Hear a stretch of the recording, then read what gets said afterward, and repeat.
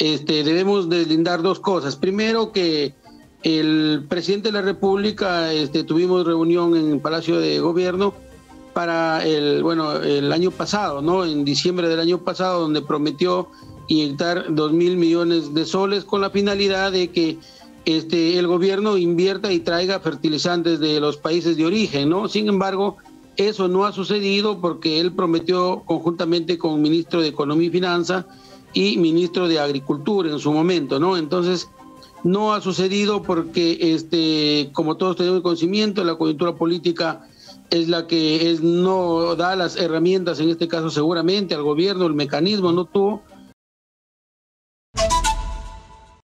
Finalmente, para la gente que se encuentra en planilla en estos momentos hay una muy buena noticia porque el día de hoy el presidente de la República eh, terminó finalmente disponiendo ya de manera oficial que el retiro del 100% de la CTS.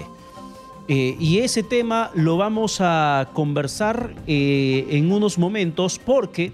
A continuación vamos a conversar también con el presidente de la Junta de Usuarios del Valle de Chira y dirigente de la Asociación Peruana de Productores de Arroz, con Saúl Núñez Montenegro, debido al tema del alza de precios, lo que estábamos comentando a Catiusca, cómo se incrementa el precio, el tema de los productos de primera necesidad, el arroz a granel o empaquetado elevó su precio en el mercado. Saúl Núñez, ¿qué tal? Buenas noches, bienvenido a Exitosa. ¿Cómo estás, este, amigo Roy? Muchas gracias por la invitación a través de esta prestigiosa emisora este, Exitosa Noticias, ¿no? Radio. Un saludo fraterno a través de la Asociación Peruana de Productores de Rosas de la región Piura. Te saludo, hermano. Bien, eh, Saúl, Pedro Paredes y Catiusca Torres Saibra te saludan. Por favor, dinos un poco lo que está pasando dentro del gremio de arroceros.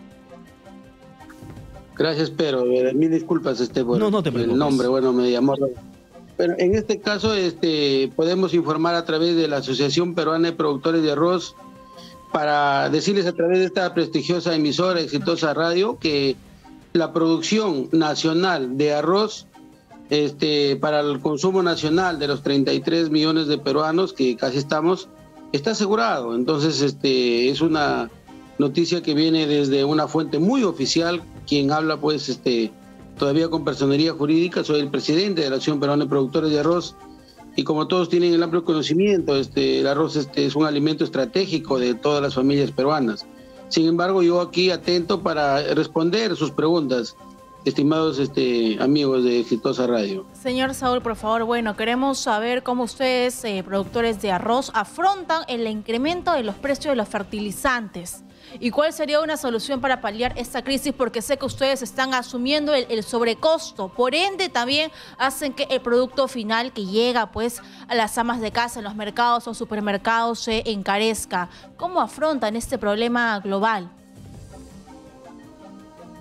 El problema de los fertilizantes ya este, se ha incrementado a más del casi 300% ya hace un año, ¿no? Entonces, este, debemos deslindar dos cosas. Primero, que el presidente de la República, este, tuvimos reunión en el Palacio de Gobierno para el, bueno, el año pasado, ¿no? En diciembre del año pasado, donde prometió inyectar dos mil millones de soles con la finalidad de que este, el gobierno invierta y traiga fertilizantes de los países de origen, ¿no? Sin embargo, eso no ha sucedido porque él prometió conjuntamente con el ministro de Economía y Finanza y ministro de Agricultura en su momento, ¿no? Entonces, no ha sucedido porque, este, como todos tenemos conocimiento, la coyuntura política es la que es, no da las herramientas, en este caso seguramente al gobierno, el mecanismo no tuvo y no invirtió. Sin embargo, el productor eh, nacional arrocero ha seguido produciendo en las 19 regiones con la misma cantidad de hectáreas. Entonces, nosotros eh, vamos a informar hoy a través de, esta institución que representamos para que tenga de conocimiento el consumidor nacional que este, lo que ha subido es en el mercado, ¿no? El consumidor está pagando el arroz a más de 3 soles 50 en algunas marcas, 4 soles, pero debemos decir que en campo, en la chacra, en la parcela, no ha subido más de un sol 40 el kilo de arroz en cáscara en costa y en selva a 1.20 el kilo de arroz en cáscara. Sin embargo, Ahí nosotros seguimos trabajando duro, duro todos los días, seguimos sembrando la parcela porque es la única este, fuente de trabajo y no podemos dejar las parcelas este, sin sembrar.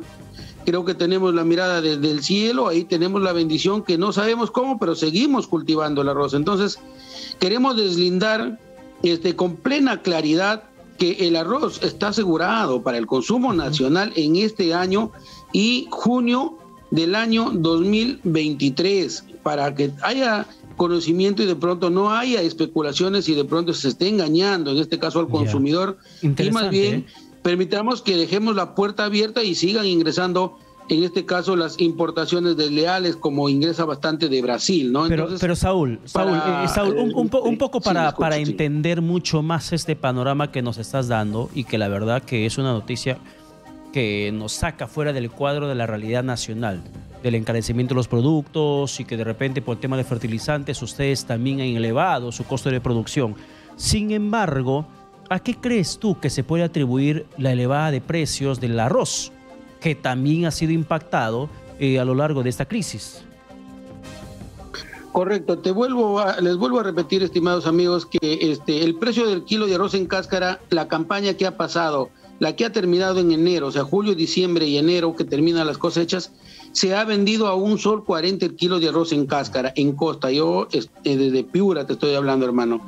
Y hoy día, también se está vendiendo, hoy día justamente miércoles, se está vendiendo en ese mismo precio. Justamente había una protesta de el productor arrocero acá en el Valle de Chira, en la parte alta de este, el Alto Chira, Somate, y también en San Lorenzo, porque el agricultor estamos planteando, aunque sea un sol 50 el kilo de arroz en cáscara, con la finalidad de que podamos recuperar los costos. Sin embargo, tu pregunta es por qué ha encarecido en el mercado. Es muy simple. ¿Por qué? El mercado este, nacional no están este, manejado por grandes empresas, por grandes monopolios. O sea, ¿qué quiere decir? Que nosotros cosechamos hoy día y hasta hoy día nomás llegamos. De ahí ya nosotros no somos partícipes del mercado porque está el, este, el molinero, en este caso, no la industria molinera. Y también debemos mencionar, por ejemplo, que tenemos este el grupo Camil, ¿no? Es un grupo muy grande que trae importación de arroz de diferentes países del mundo y termina vendiéndolo seguramente en una marca peruana, ¿no? Porque la producción nacional que compran ellos es muy poco, ¿no? No es, no es este insignificante para la cantidad de mercado que tienen ellos este copado y están vendiendo, ¿no? Entonces, ya no lo estamos manejando nosotros ese mercado, no hay participación del productor nacional. Entonces, ¿a quién, quién está favoreciendo? Si, si el agricultor en el campo no estamos ganando, estamos ya en pérdida hace tres campañas, ya dos está peor y esta que se ha agudizado más. Entonces, ¿quién está en medio? Porque el ama de casa sigue pagando el arroz caro, ¿no? Entonces, ese es el modelo político que estamos viviendo, ¿no? Y lamentablemente hay intereses inmensos que eso no lo podemos manejar nosotros como productores, eso lo puede ser el gobierno, pero el gobierno no está en sintonía con nosotros los agropecuarios. Ahí el problema, señor Saúl. Quizás sería una solución, bueno, usted nos deja claro ese dato, son los intermediarios los que están subiendo el precio, especulando precios. Sería una solución que se pueda reactivar los mercados itinerantes de la chacra a la olla, cosa que yo o todos los peruanos como, como consumidores podemos ir a ciertos mercados localizados en la capital y en las principales regiones para comprarlo ustedes directamente. ¿Se ha, se ha pensado en implementar esto? Digo por parte del gobierno, ustedes han hablado con algún ministro, recuerdo que eso pasó en la pandemia. Ahora que estamos en estado de emergencia, todavía debería continuar ese proyecto.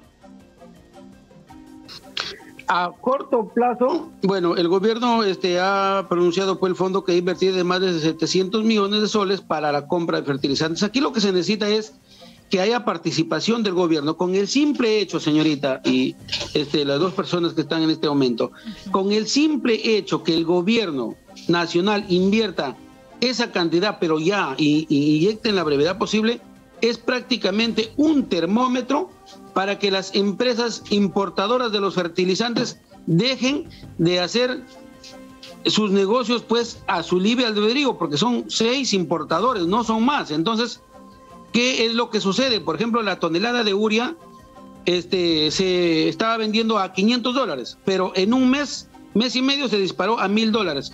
y para traer fertilizante demora seis meses. Entonces ellos duplicaron la venta eh, de su ganancia, ganaron pues este 500 dólares en tonelada, ¿no? Entonces no hay presencia del gobierno porque son seis empresas y finalmente le tienes que terminar comprando a, esas únicas empresas que incluso cuando el gobierno quiso este, hacer eh, el canal de negocio con estas importadoras, este, ellas dijeron, no, no voy a hacer negocio contigo porque aquí me asegura que me termines pagando, ¿no? Entonces seguramente también tienen este, razón lo que dicen las importadoras, pero para eso tenemos este, la constitución pues que nos protege a la producción nacional, pero lamentablemente este Castillo, el presidente de la República, no este, ha logrado consensuar con el Ministerio de Cultura, que obviamente no solamente es él, pero tenemos a Economía y Finanza, que hoy ya sí peor se ha salido de control. Entonces, ahí sí podíamos nosotros tener una protección nacional a través del gobierno, inyectando dinero. Entonces, ahí sí nos pueden proteger a corto plazo. Claro, Después de eh, eso, sí, te escucho. En, el en, el tema de fertilizantes entendemos que hay una intención del gobierno en estos momentos. Si el ministro Arce, flamante ministro de Agricultura, ha señalado que por lo menos en un mes estaría llegando el primer lote de fertilizantes. Sin embargo, fertilizantes, el tema de la campaña de siembra, el tema de acompañamiento, la acción del gobierno, todo esto se resume en la propuesta que se lanzó el 3 de octubre de 2021 respecto a la segunda reforma agraria. Yo quiero culminar con mi parte escuchando tu opinión de ese tema. ¿Qué esperabas de la segunda reforma agraria que ha planteado y que ha lanzado el gobierno del presidente Pedro Castillo? Correcto, yo participé en la segunda reforma agraria en la explanada del Cusco y este nosotros vimos con bastante esperanza esa segunda reforma agraria, pero en realidad este es solamente una ilusión, no tiene pies, no tiene cabeza, en realidad no ha nacido todavía la segunda reforma agraria, porque enfocaba en base a que terminemos identificando al productor agropecuario nacional, la cual eso no ha sucedido. Entonces, este, para nosotros los productores que estamos en el campo, yo justamente estoy en el campo en este momento, no existe la segunda reforma agraria y creo que ya hay pocas esperanzas que por ahí camine este, identificando al productor agropecuario nacional. Es muy preocupante. La leche, por ejemplo, ¿no? que seguramente ustedes tienen de conocimiento, entonces es amplio esto, pero lo que sí quiero dejar claro a través de Exitosa Radio y, y qué bien que nos llamen a los dirigentes nacionales que representamos a los gremios, es que en realidad este, en la chacra no ha subido los productos, que quede claro. Eso tienen que ustedes, los medios comunicativos, hacerle entender a la ama de casa que no ha subido en el campo. Hay el monopolio que ahí está presente y que no lo podemos romper, ese monopolio que ahí está. Está Gloria, pues que ellos son los que ponen la decisión de la leche. Tenemos pues el pollo que está caro, porque el maíz viene de importación, casi el 60% de consumo. Han desaparecido los maíces. El azúcar, por ejemplo.